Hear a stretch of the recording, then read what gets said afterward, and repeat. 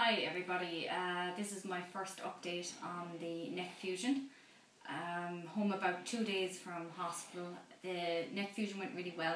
The doctor that operated did an excellent job and I couldn't believe after about three, four hours of waking up I could actually move around, I could actually walk to the bathroom uh, by myself and everything and I think I was shocked myself how much movement I would actually have so it's been quite good. Uh, there is pain, but I have a big box of painkillers to take care of that. And at least the burden that I had for eight years will hopefully be gone soon enough, and we will know. It takes about eight weeks for the bone to fuse, so I can't do anything whatsoever. So um, Dermot is my slave right now and taking care of everything and doing a really good job.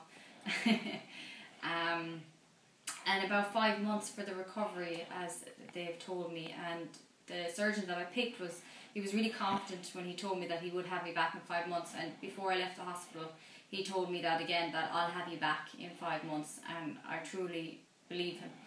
Um, I came home and I was watching the Olympics, and there was this piece that came on that uh, Michael Johnson spoke about, and it really inspired me, and it really showed what athletes do go through injuries, peak performance, getting into the zone, feeling good and feeling bad. And it, showed both sides of the coin, and I thought it was brilliant. And I'd like to share it with you guys and see what you think yourselves. Uh, it's a, a tough thing to be an athlete, to be a cage fighter, to dedicate all your life to it, and to go through the struggles.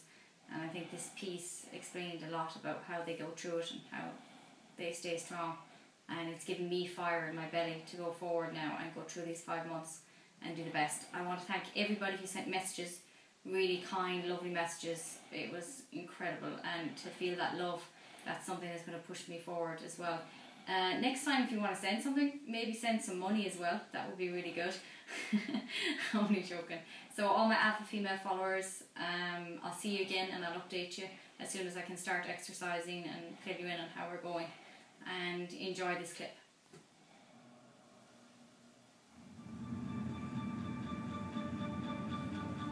It's the opportunity of a lifetime. To compete at a home Olympics should be an experience to enjoy, to treasure. But for just a handful of athletes, that honor has been accompanied by an indescribable burden. But they are the face of their games. This phenomenon is about timing, a talent burning at its brightest, fueled by graft and dedication.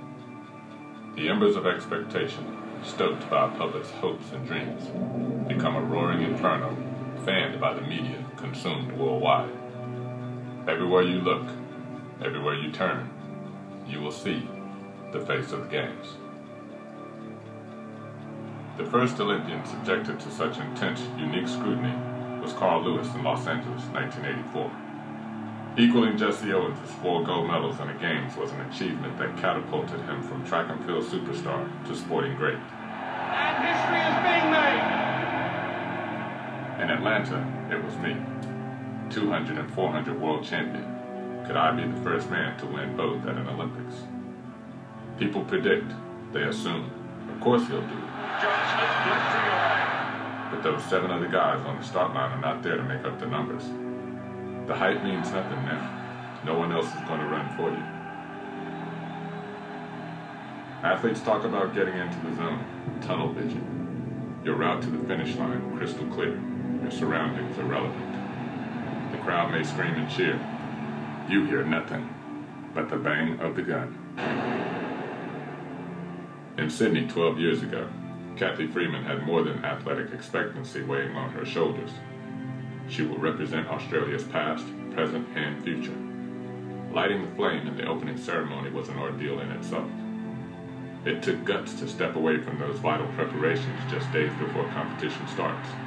The crowd roaring Freeman on! It required an appreciation of the bigger picture, of what hosting that Olympics meant for her nation. Goal for Freeman! Right now, I just want to go home and have a cry for this for that crowd, to be honest.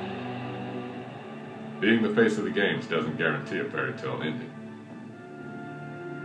Four years ago in Beijing, Chinese hurler, Olympic champion, and cultural icon Liu Xiang withdrew in the first heat of competition after aggravating an old injury. He's almost in tears.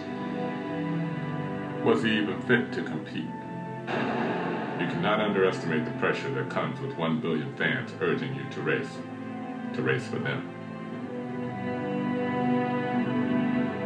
So who is the face of London 2012? Step forward, Jessica Ennis. Hopes of home gold are higher than we ever imagined. It's a lot to take, the pressure cooker of expectation. Her talent is burning bright, fueled by hard graft and dedication. The embers of expectation, stoked by the British public's hopes and dreams, have become a roaring inferno, fanned by the media, consumed worldwide. This quiet girl from Sheffield has it all except one thing her dream, her nation's dream home Olympic gold.